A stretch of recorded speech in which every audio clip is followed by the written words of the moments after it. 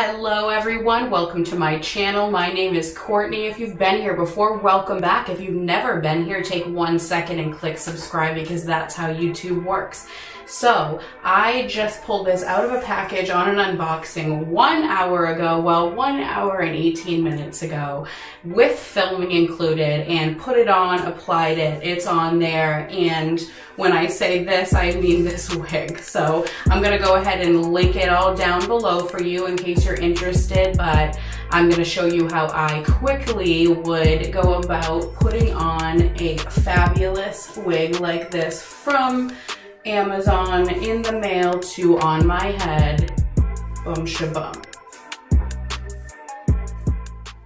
So I just got this. I did an unboxing for it and I have no patience. So I'm laying on my bed to cut the lace and I've been meaning to do a lace cutting.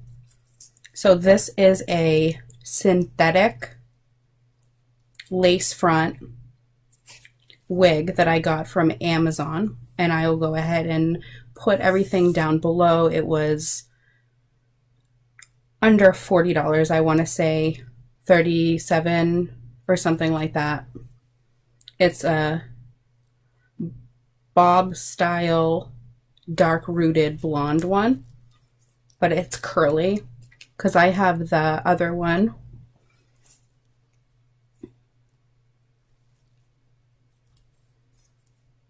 I have two of these, and so I'm going to go blonde for the summer, meaning my hair will be blonde, and I don't want to do my hair every day, so I'm like mocking it with wigs for like the off days. Now, I would have just got another one of these. They didn't have it anymore, and I have two, which is fine. But then for this price, I got this one. So the roots are darker, but I feel like if they're not next to each other, you people just generally, I don't think, could tell. Also, my hair's like a different color every day, so I don't really think people care. No one cares. If you're nervous about wearing a wig in public, just know no one cares. Either people don't know, or if they do know, it means that they probably wear wigs too, and they have respect and wouldn't, you know what I mean? Like, you can, like it's like oh my god you can just ask somebody why they're wearing a wig like so i'm going to show you how i cut the lace. I don't keep any of the lace. I get rid of all of it. I go right usually to like the hairline and then i'll like trim it like so i like to use glue once in a while and the glue kind of like mucks up the lace and it doesn't lay as smooth if you do that and it takes longer to clean. But if you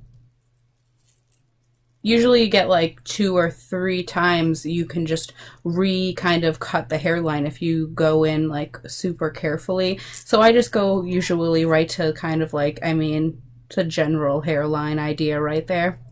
I don't worry too much about like the zigzagging, but I also don't worry too much about if I cut any. I'm laying so awkwardly. I'm so lazy. What time is that? All right. So I hold up the lace and use the scissors and the weight of the hair to keep it taut. And then I just go like this. I would normally face it towards me like this so that I can see the hair, but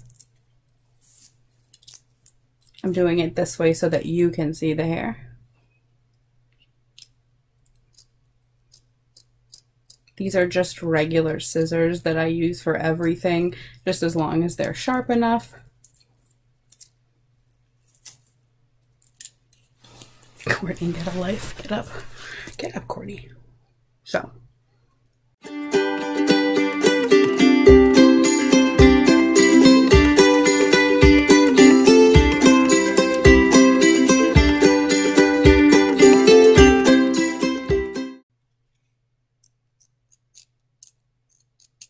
Just remember you can always take more off, but you can't put it back on. So then I usually, with my hand, or if I had a brush near me right now, which I don't. I would just brush the hair because all the little pieces that you may have cut come off and that's okay.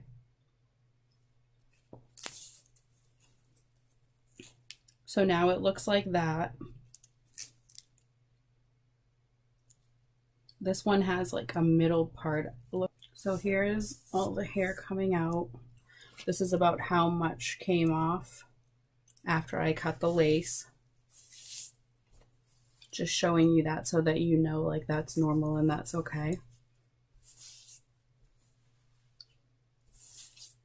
I super like love this hair that I have on right now, but I totally think I might just change it. Okay. So there's kind of like hair everywhere all over me. This is like how much came out of it. Here's what the piece of lace looks like. And here's what my wig looks like now that I cut it. So synthetic hair, full lace front, generally in the 30 to 40 dollar range or 40 to 50 range like a high 30s to low 50s i've never come across like a company i mean on facebook i know a lot of like wigs they say it's one thing and it's but if you i go on amazon i've never not gotten what they say. So this hair is super soft it's super nice it's fully rooted the whole way through. This and this are elastics that stretch to tighten depending on the size of your head. Or if you have a ton of hair underneath, or if you have a small head. So I always just go and these little like pieces that are sewn down, you can hook it on I usually just go to the middle when I first get a wig. I've only one time in my whole entire life got a wig that was like super small. And I was like, was this like a baby's wig? But other than that, they're usually, they understand like you can tighten it, but I can't make it bigger. Like it was weird. But anyway, so I usually just go to the middle and hook them on the same one together like that for when I first try it and that seems to work for me generally. I think that tightening it you definitely always want to make sure that these are hooked on to something because you don't want them like hanging down like here like on your neck but I think that if you're not going to glue them on and you're just going to like put it on with no no glue glue method or no actual wig glue and you're going to maybe use um, the clips and to secure it onto your head and you don't really care so much about you know being able to do things like you know like move like that then you would like it more secure. I think that if you're gluing from here to here and all this is glued down tight, it doesn't matter too much if it's like tightly secured because you're creating it tight here. So the next thing that I would suggest doing, and you can do this with scissors or if you have like an eyebrow shaper, is I usually lay it down flat like this and take a thin line from the lace part and I again hold it up to create tension. I kind of give it a couple twists but nothing too fancy and I kind of cut gently and pull up like this and you can't really even see what's happening, but you're creating little uh, baby hairs that are going to be able to look more natural when you so you don't have that like hard defined hairline having like little hairs that are moving around like it just looks more natural. So it takes a, an extra second, but I think it's worth it. And I like doing it before I put it on, but you can touch it up after, which I probably will.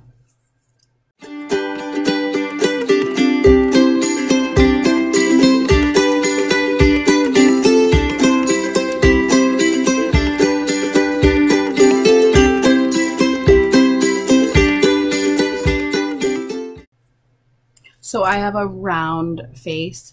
I always end up when I cut my wigs putting like I don't want to call these bangs, but obviously when I got this one, like all these pieces here were all the same length as this. Wow, my boob looks gigantic right now. Sorry. and I just feel like it frames my face better and kind of I'm I'm not trying to be like, oh, and accentuate my big fat face. So I know that I'll end up cutting it a little bit more, but I want to put it on. So I just like to cut a little bit of the baby hair. I like to cut a little bit of, I just like to cut a little bit of the baby, the baby hairs and the lace. And then I'm going to put it on to see what its life is about. So what this, oh my lord, a lot of hair on me. Don't do it in your bed, that's dumb. Super dumb. Oh, look at my new boots. Yes.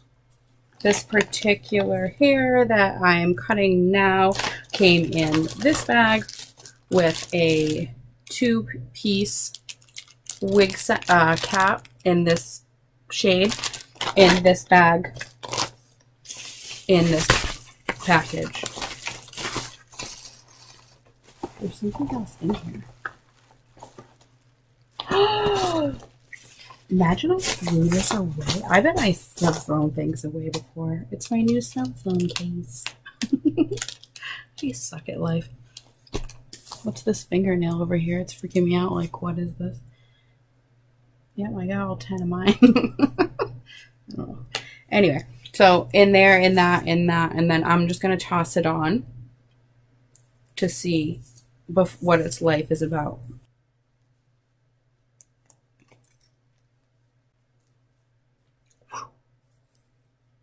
Yes.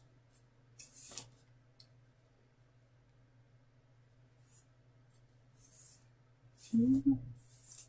I like these dark roots. I'm feeling like a little Madonna vibe over here. I mean, this is where we need to do some work on it. I would, I feel self-conscious about that. But other than that, then you can do this. Yes. So I definitely like that. Now, now that it's on, I can see that I definitely need to be cutting a ton from around here. So I'm going to do the same thing, which is hold it and kind of like cut in like this, pull little bits. I also like to take it from like both sides of the part of the wig. Almost like as if I was like how I would cut bangs.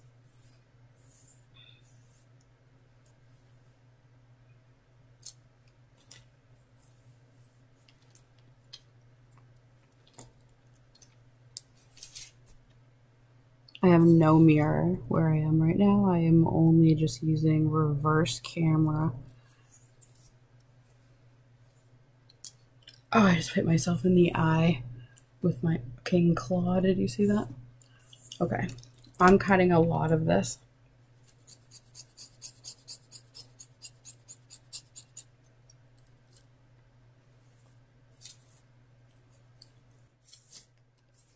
But that just made me feel like a million times better. Just that like hard, hard line. Not my jam. I'm to go ahead and do it like all around my face. I also um, think that it helps like thin out the bulk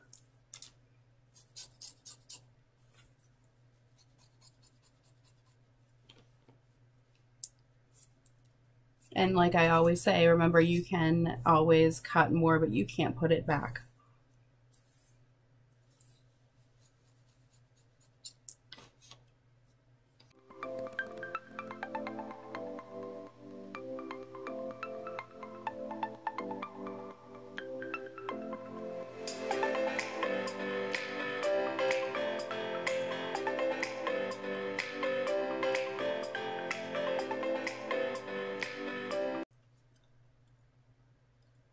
I'm going to go get my gel and hairspray and wig glue, I guess, just in case.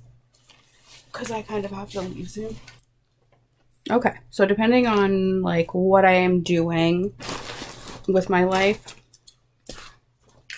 I use wood glue, but I always use a got to be freeze spray and glued, Got2b glued lasting freeze spray and styling gel. I usually just put it on with my finger.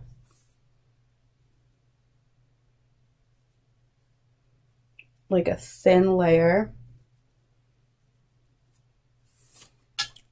And then the mixture of these things really hold up good. Like that. Stripping down my forehead, I see. So I like to put it down a little further than I like it while it's still wet and then kind of push it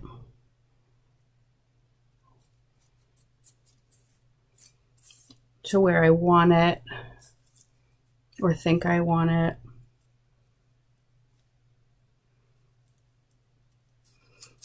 and then gently with either a brush or your fingers or a comb or the back of a rat tail comb, pull it all forward. And I usually like press like that. The reason that I do this is because all the baby hairs that we just cut are gonna stick in it. And normally I would use a hair dryer and just blow dry it. They've stuck. I just like to push the lace kind of like back and then the hair like over it so you don't see that harsh hairline. And this is just gel and hairspray that I'm using, so you don't have to be like, oh no, like if it doesn't look right, just add water, it'll come right off.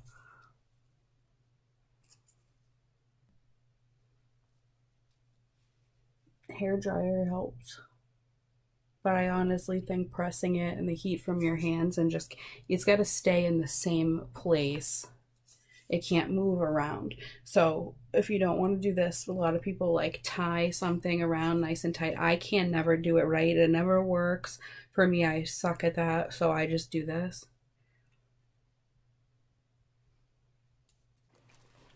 Okay, well, I'm actually going to be late for something if I don't do this, so IRL I would do this, which is wig glue. I use Ghost Bond. You only need a little. I'm using the back of a eyebrow shaper and just putting this much, not in the hair, but on my forehead, a thin layer. You have like 20 seconds to adjust where you put it before it literally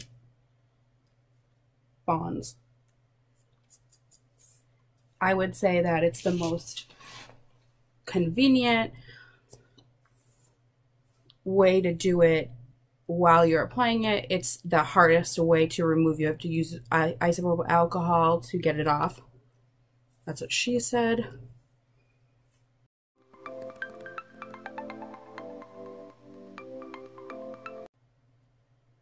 Dots. Not in the hair on the lace so I'm just gonna make sure the lace is over it when I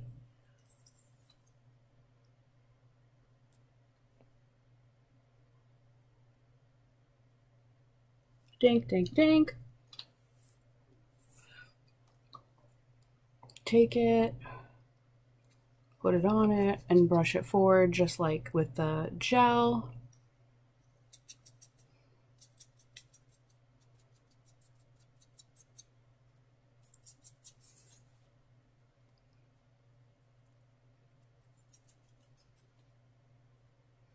I'm gonna, I have wrinkles right here in my forehead I don't like, so I take the wig down a little further here, and then once it hits that glue, I pull it.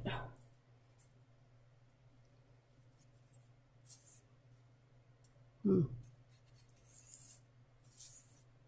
That's on there.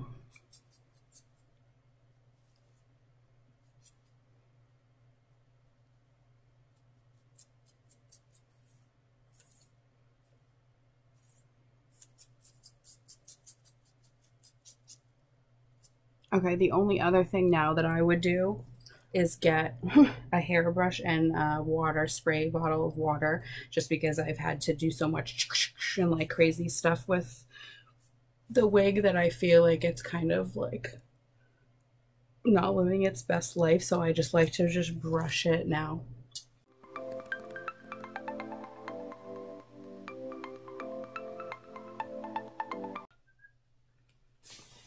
Okay.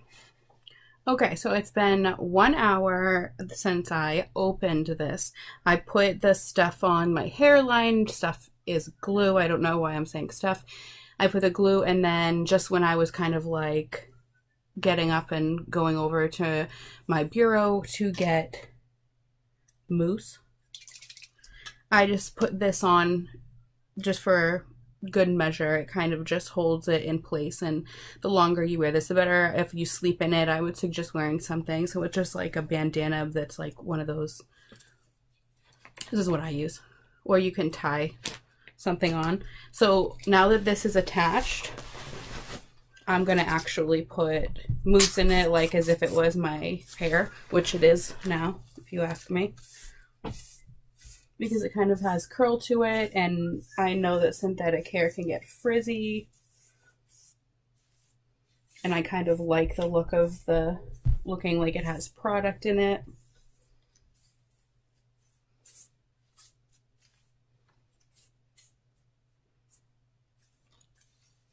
I got five minutes before, whoa, boobs. I got five minutes before I have to leave. I'm literally five minutes isn't a long time, but it's better than nothing. I'm just to put this right back on here. Let the curls set up with the mousse. Touch up my face for a second. Possibly change my shirt because holy hell. And right before I walk out, I'll show you. So I just changed location real quick because I wanted to give you guys like the full vibe of this wig because it's really pretty. So let's see what we're working with here. Take that off, fluff her up. But not too much. I don't want to get it like fluffy. I, when I say fluff her up, I just mean like the the root area where I have the bandana. I don't want it like slicked down on my forehead.